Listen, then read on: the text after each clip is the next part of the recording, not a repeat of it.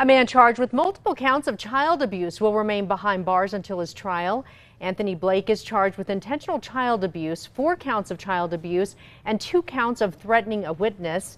Back in January, a security guard at the Walmart on Coors noticed bruises on six-year-old girl and called APD to investigate.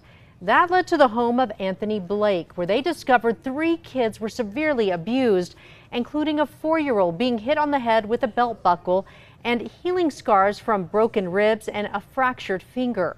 A trial date has not been set.